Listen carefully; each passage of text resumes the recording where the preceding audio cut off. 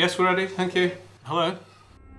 We're heading to the edge of space. The very edge of space. Good morning. Um, this is very exciting. Uh, uh, and is it just like a, a, a weather balloon, a good old fashioned weather balloon that this is going up in? Yeah, so it's a, a helium balloon, which will be a, a metre or so wide when we inflate it. By the time it gets to 30 kilometres altitude, it will be about 9 metres across. And at that point, it will burst, and the cameras and so on that we're sending up will fall back down to Earth by parachute. This is, we're putting in the data down here so you can see 1430, so 230 on the 28th. This is our ascent speed, our predicted burst altitude, and our predicted descent rate. Now, we can export this as a KML file and open it in Google Earth. So this point here, that's at 100,000 feet. This is where it's going to burst. That is good. So we can see exactly where it's going to go. Well, we've been monitoring the flight path predictions for 10, 11 months, and today I'm really pleased to uh, announce that actually this is the perfect conditions. What's inside here, Rob? Right, so the DSLR is going to go here. This is the cutout for the lens. This is our 360 camera, which is dangling from here. And what we'll be able to do when we get the footage back from that is look up and see our balloon burst. So this 360 camera wasn't in the original idea. So when we started this project, we were just planning on like, like one camera, you know. First of all, we found out that the battery life, it's only got about a thousand milliamp hour battery in it, um, which is only enough to last about an hour and a half's worth of flight. Um, so not enough for the full flight up and down. We had to find a solution to that, and then that led us to building this, or led me to building this um, charging circuit to rectify that. We ordered certain components online. It's like custom for the situation. So on the bottom, there's uh, the Raspberry Pi, and then above that, um, it's a PITS board, and then the third one up is called a LoRa board, uh, which stands for long range, and that's our radio transmitter, and that's actually got an aerial coming out the bottom of here. Uh, this is our ground plane antenna, which will transmit um, the coordinates and some live te- telemetry data and images back down to Earth, live flight. And then the board on top, as you can see here with the big array of LEDs, is the Sense Hat. Uh, that's got all different kinds of sensors like uh, pressure, humidity, gyroscope, all that sort of thing. And is that information that's going to be beamed down? The information from the Sense Hat is going to be, uh, we'll have to recover that when we go to collect it.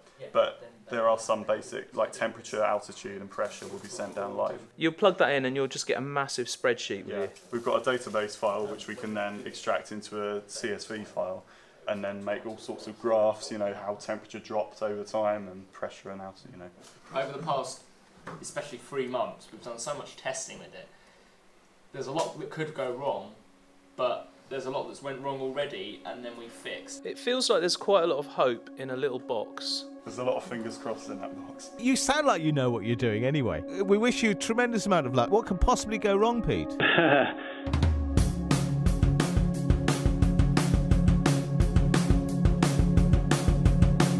This is Apollo Control at 102 hours into the flight of Apollo 11. It's grown quite quiet here in Mission Control. A few moments ago, Flight Director Gene Kranz uh, requested that everyone sit down, get prepared for events that are coming. And he closed with the remark, good luck to all of you.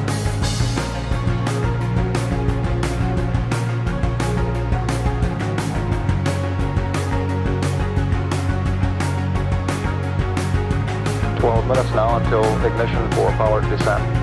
Everything's still looking very good at this point. Okay, all flight controllers, gonna go for powered descent. Retro, go. Fido, go. Guidance, go. Control, go. Telcom, go. GNC, go. EECOM, go. Surgeon, go. Capcom, we're go for powered descent. We're off to a good start. Play it cool.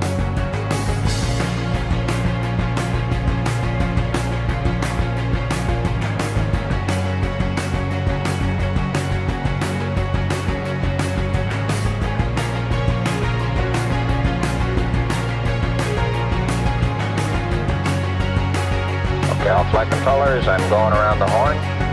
Okay, retro. Go. Fido. Go. Guide. Go. Control. Go. Telcom. Go. GNC. Go. EECOM. Go. Surgeon. Go. Retro. Go. Fido. Go. Guidance. Go. Control. Go. Telcom. Go. GNC. Go. EECOM. Go. Surgeon. Go. Capcom, we're go for landing. Okay, everybody, let's hang tight and look for landing radar. 75 feet, down a half. Level 2 alarm. 60 seconds. We're, we're going that flag. We're going that alarm. 40 feet, down two and a half. It's, if it doesn't reoccur, will we go? 30 seconds.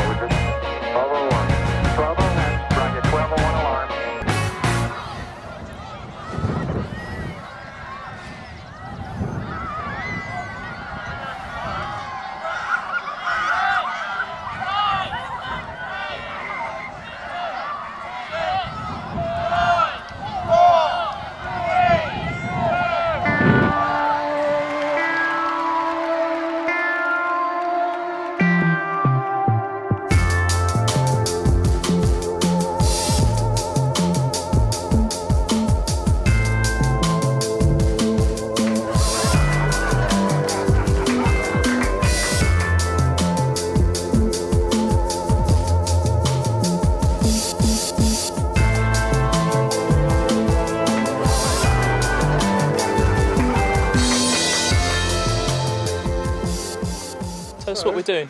We've launched and it's gone up. And now we're jumping in the chase car, also known as the Chatsmore minibus. Yeah, so when we turned the payload on, when we took it out there and we powered it all up, um, the camera that's receiving live images wasn't um, taking pictures basically. Um, but we, we plugged it in a few times, we found one of the cables, the actual camera module that um, the cable that connects it to the circuit board that it sits on was coming loose. Okay. Part of it clips up and that, that needs to be down. So I just reconnected that, rebooted it and uh, problem solved. Did it work straight away? Uh, we had to restart it about three times, but we did. It, it, it kept going. When we got it going, it kept going. So um, it looks it looks good. um, when we launched it, and it kept it was receiving images, uh, receiving packets as it was going up, and now wherever the balloon is, we're not receiving coordinates or images, which is a bit worrying. But hopefully, if we chase it in a minibus and we get under it, get closer to it, because you know there's not buildings and stuff in the way, we should um, we should start receiving again. So fingers crossed. So we are now driving somewhere towards Petworth. I'm slightly nervous that we, we're not picking up any signal yet. Despite the traffic at Arundel, we are moving quicker, so hopefully we're catching the balloon up. Yeah. So at some point we will start to pick up the signal. Yeah, you want to be taking the next left, sir, towards West Burton. Well, at the minute we're at the strongest signal we've ever had, which is, uh, well, so far, which is minus 104. No, it's back up now, isn't it? Yeah. At the moment, what's our geographical location in the van? Uh, between Bignor and West Burton. Right. It is genuinely a better signal though. A few minutes to go. Till burst. It could burst right now, we don't know exactly, but that's roughly. Right, so it's behind us right now. Yeah. Yeah, if the signal starts going up now, it's not necessarily a bad thing because we're actually heading away from it. Yeah. It's going to go into that corner. Uh, I'm thinking once we get out into the open, I'm gonna we're gonna see a signal. I reckon. What do you think? Are you? Yeah, I think so. So uh, we've been coming through lots of trees. Uh, signal's been variable. Um, we're hoping to be in a wide open space. When it's within a reasonable range, we should get a decent signal, and then we'll be able to track it. Tell us what's going on. We're getting a better signal strength than ever. I'm, I'm up with the manual here. I've got the manual for the, the piece of software.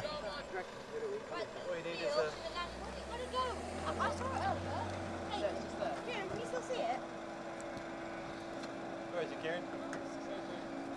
I, I just saw it. No, I've lost it. It, it came over this way. Got your binoculars, Kieran. Oh no, I can see it. I've got eyes. I think that's it, lads. Oh, it is, look! Oh, I see it! Yes! Yes! I can see it! Adam, whoever's got the This eye, get that bad boy pointing out there! The flight of Apollo 11. Where is it? It's grown quite quiet here in Mission That's a, Control. that's a bird. A few moments ago, That's a Flight bird. Director Gene Kranz I mean, if there's a possibility that we don't get it today, Yeah. someone will find it at some point. And hopefully phone it's got a number on. So This is our predicted landing site, as you can see on the predictor there, and it should be coming at us from the east, so we should see it coming from that way. Okay. Um, so we're all going to get out and have a look for it now. Goggles on.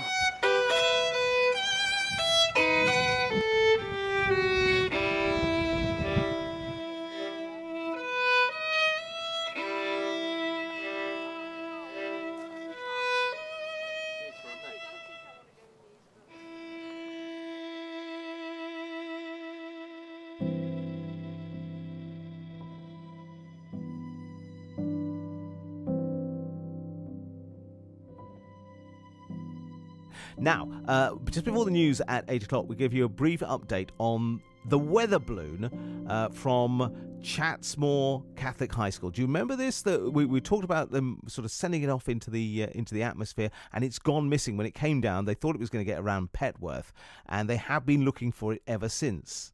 Unfortunately, they're still looking.